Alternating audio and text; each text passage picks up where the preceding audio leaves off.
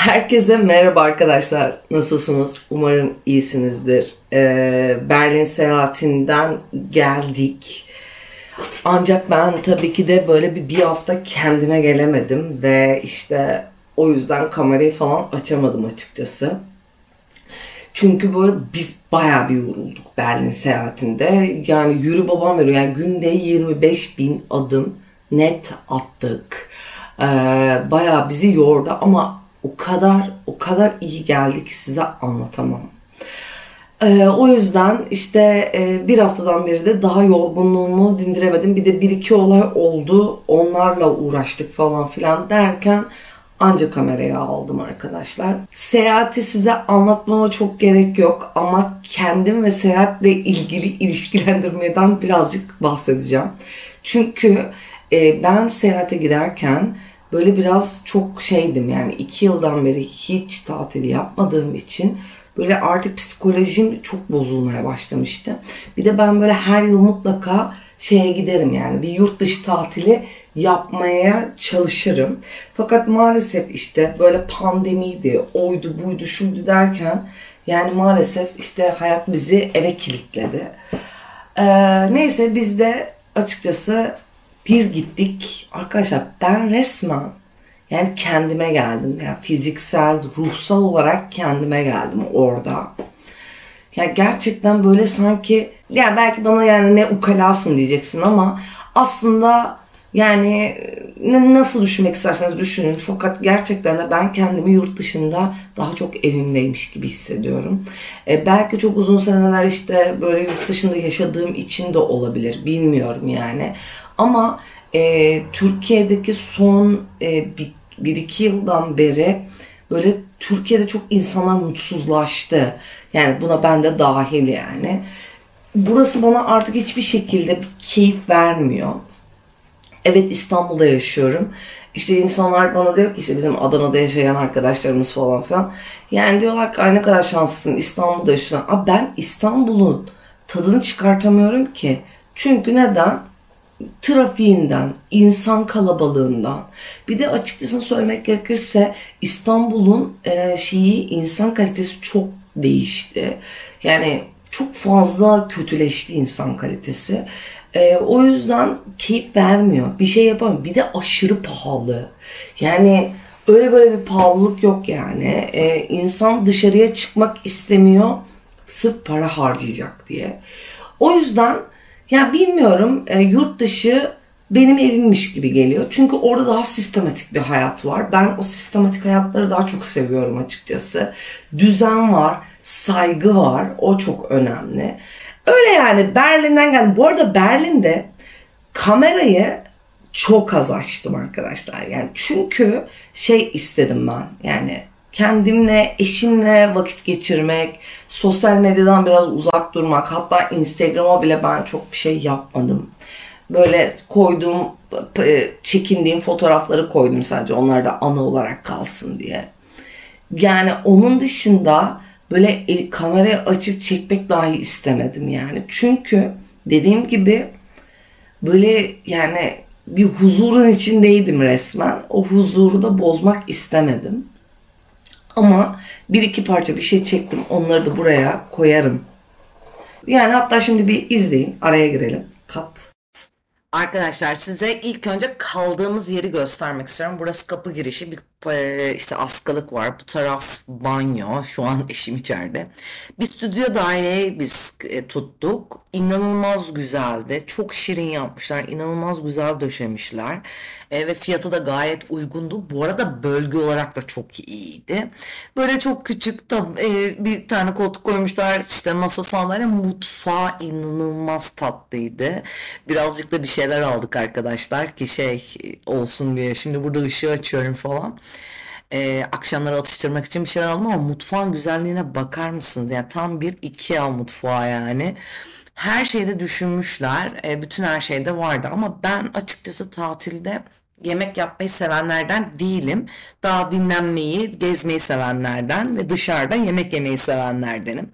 Şöyle biraz göstermek istiyorum. Bayağı da büyük bir daireydi. Yani belki de vardır 30 metrekare falan o derece diyeyim. Çok güzel yapmışlar daireyi. Bayıldık. Yerinden dolayı da çok memnun kaldık. E, manzara desen yok. Balkon var ama e, onun dışında ön tarafında aslında çok güzel bir manzara vardı. Şöyle manzara vardı. Tam bir Avrupa'daymışsın izlenimi veren bir manzaraydı. Ama biz tabii o ayrıntıyı söylemedik onlara. Burada da beni görüyorsunuz arkadaşlar. Bayağı pijamalarımı giymişim.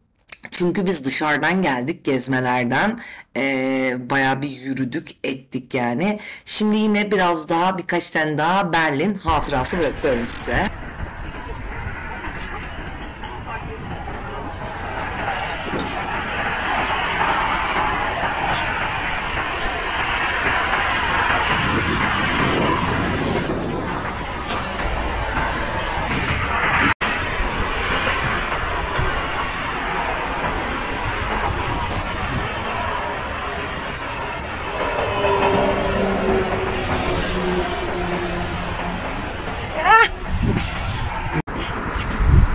Evet burada Ahmet şekilden şekle geçip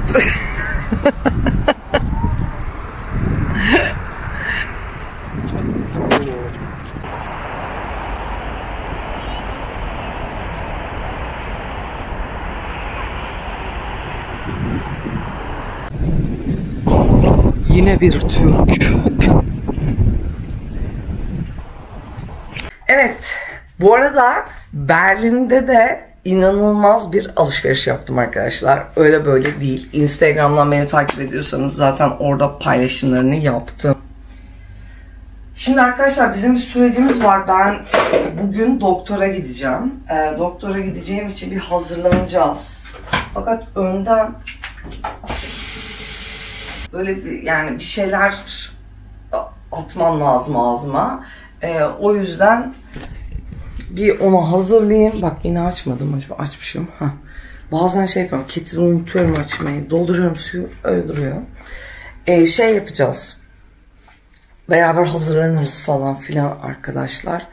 Ee, bu arada şöyle bir şey var. Tabii ben burada hayatımın e, yani belki de yüzde üçünü falan paylaşıyorum arkadaşlar. Öyle söyleyeyim size. Bunu neden söylüyorum? Ay çok affedersiniz. Burada böyle e, aslında çok fazla şey konuşmak istiyorum. Çok fazla şey anlatmak istiyorum. Aslında anlatacak o kadar fazla şey var ki ve eminim ilginizi de çekecek çok fazla şey var. Benim hayat sürecimde giden. E, sizlere de deneyim olabilecek şeyler olduğu için ilginizi çekebileceğini düşünüyorum. Fakat burada maalesef eee bazı akrabalar var çok fazla böyle seninle ilgili dedikodu yapan akrabalar vardır ya yani onların izlenme orası olasılığı çok yüksek olduğu için maalesef burada anlatamıyorum konuşamıyorum. Ee, belki gün gelir bir gün ee, yeter ve der konuşurum yani. E, o yüzden böyle günlük vloglar halinde günde ne yaptıklarımı çekiyorum yani ama aslında o yaşadıklarımı size anlatabilmeyi isterdim. Çünkü sizler için ciddi anlamda deneyim olabileceğini düşündüğüm şeyler. Ama hayat işte toplum, toplumun saçma sapan halleri ve baskıları. İşte bu yüzden Türkiye beni kendinden çok soğutuyor arkadaşlar. O yüzden yurt dışındayken kendimi büyük ihtimalle çok daha rahat hissediyorum. Ee, yani Türkiye'de zor arkadaşlar ya çok zor yani yaşam zor burada. İşte Avrupa yakasına geçeceğim Üf yani o da bana işkence geliyor çünkü açıkçası söylemek gerekirse trafikten çok artık yani böyle bıkkınlık bıkkınlık geldi. Biraz bir şeyler atarım ağzıma. Artık hazırlama sürecine geçtiğimde de sizi açarım diyorum. Arkadaşlar hazırlanıyoruz. Ee, bir yandan da Reels çekeceğim. Kusura bakmayın. Çünkü ikisini ayrı ayrı yapabilecek zamanım yok. Ee, ondan dolayı hem de sizde kullandığım ürünleri görürsünüz dedim. Bir de burada bir tanıtırız. Yalnız ring light'ım arkadaşımda kaldı. O yüzden ışık bu kamerada hiç iyi değil.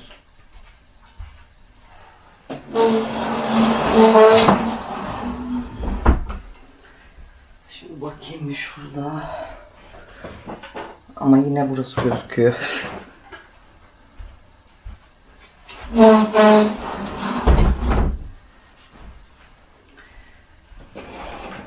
Ya var ya arkadaşlar yani açı ayarlayamıyorum bu evde. Sinirim bozuluyor artık.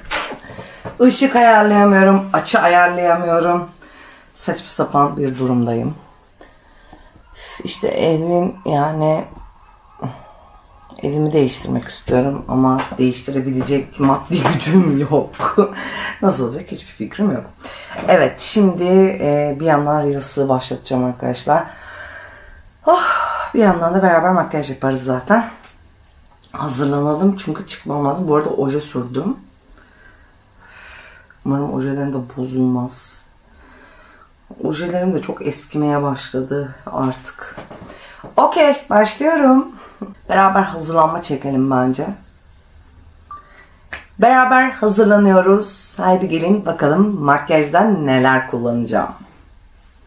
İlk önce Estee Lauder Double Wear kullanıyorum. Bu Double Wear'i ben aslında arkadaşlar şeyde anlattım e, Instagram'da ama buradan da size söylemek istedim. Bu ürün çok profesyonel aslında sanatçılar için yapılmış bir ürün. Neden derseniz eğer çok hızlı yedirilmesi gereken bir ürün arkadaşlar. Çünkü şey e, çabuk kurumaya başlıyor. Böyle bir mat bitişli. Yani hani tam da böyle mat mat değil ama bir mat bitişi var tabii ki de. Kapatıcıları çok yüksek. En en önemlilerinden bir tanesi de arkadaşlar. Tabii ki de çok uzun saatler dayanıyor. Yani 24 saate kadar dayanabildiği bile oluyor yani. Öyle söyleyeyim bayağı iyi bir ürün. Evet. Ben ince uyguluyorum. Çok fazla uygulamıyorum arkadaşlar. Oh. Evet.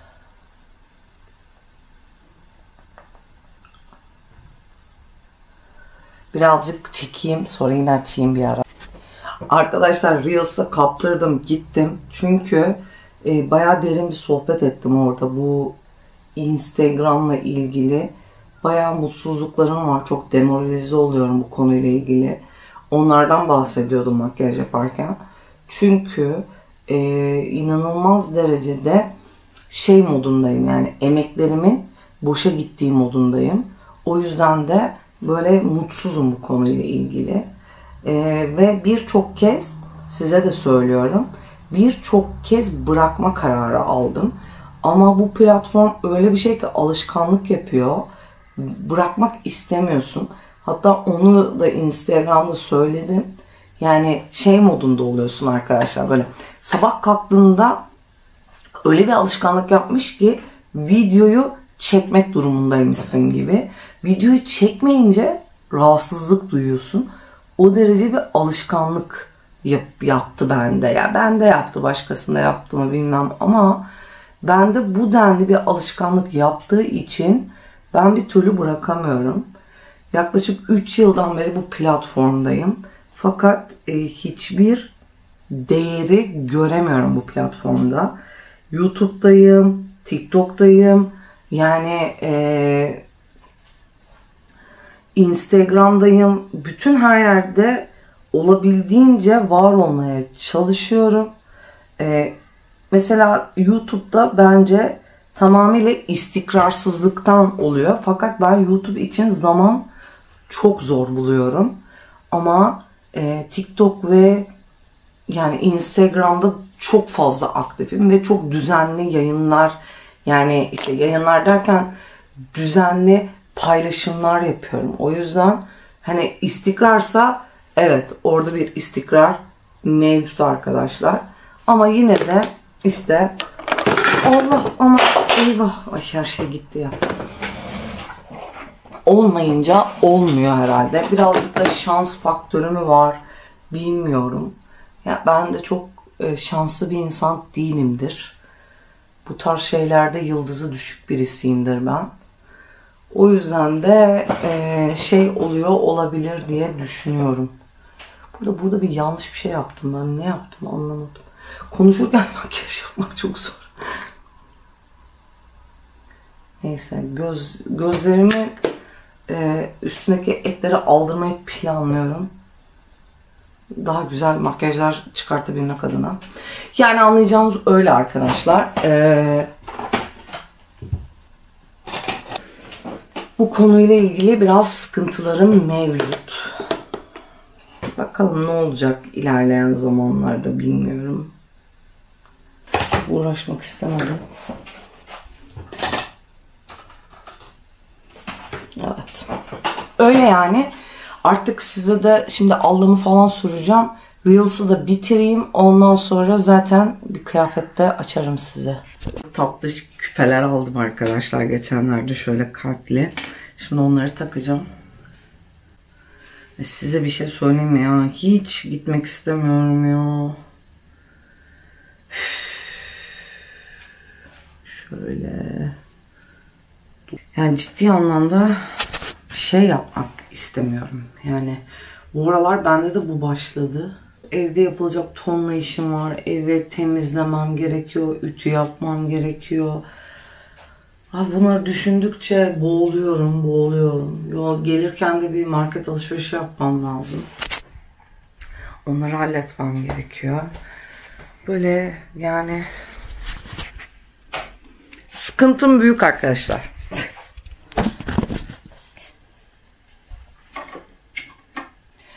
Tam ortasındayım yağmurun.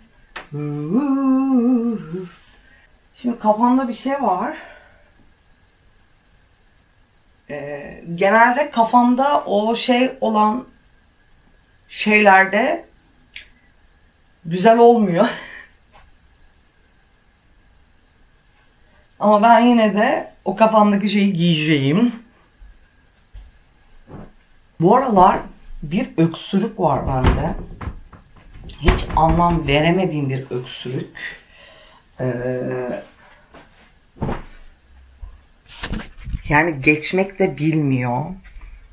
Neden hiçbir fikrim yok. Şuradan bir e, rolonumu alayım.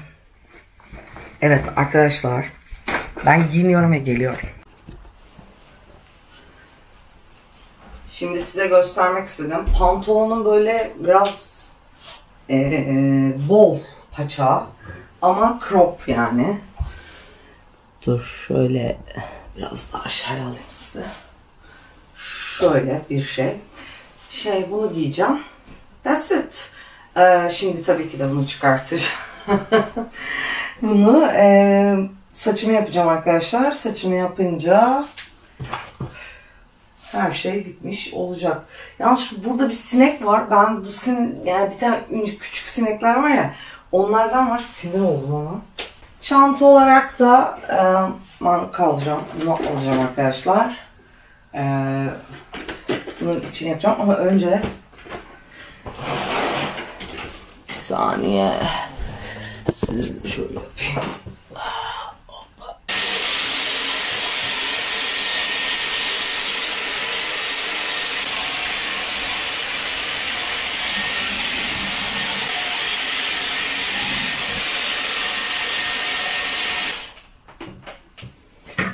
Şöyle gelişi güzel yaptım. Bu arada parmağımı soktum gözüme bu esnada. Nasıl becerdim hiç fikrim yok.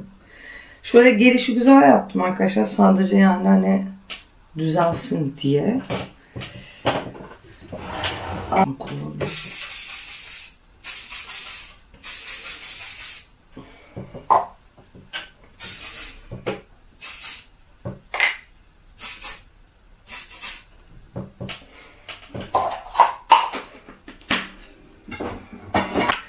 Şu var ya bunu gidin alın arkadaşlar ne kadarsa ne kadar hiç önemli değil. Parfüm olarak kullanabilirsiniz. Zaten saç parfümü. Hatta ben bugün sadece bunu kullanacağım. It's done. Hazırız. Ee, son bir çantamı yapacağım. Ondan sonra çıkacağım. Bir yerlerde zaten mutlaka görüşeceğiz. Arkadaşlar ben eve geldim. Ee, bir çorba yapıyorum. Ee, biraz böyle doktor moralimi bozdu. İşte böyle biraz kötü haberler alabiliyorum falan filan. Neyse. Aa, çok pardon. pardon. Böyle bazen kötü haberler duyuyorum. Derken son zamanlarda hep kötü haber duyuyorum. Her neyse e, arkadaşlar şimdi sallamasyon bir çorba yaptım. Çorba yapıyorum. Ben bayağı sallamasyon yemeklerin uzmanıyım yani. Tadı da sonradan çok güzel oluyor nedense. Fakat ben bunu bu videoyu editlemek istiyorum. Editleyip de bugün yayınlamak istiyorum. O yüzden de burada kapatacağım arkadaşlar. Normalde markete gidecektim fakat markete gidemedim. Hmm, öyle eve geldim yani. Beni buraya kadar izlediğiniz için çok teşekkür ediyorum. Lütfen abone olmayı ve beğeni atmayı unutmayın. Kendinize çok iyi bakın diyorum. Kocaman öpücükler. Hoşçakalın.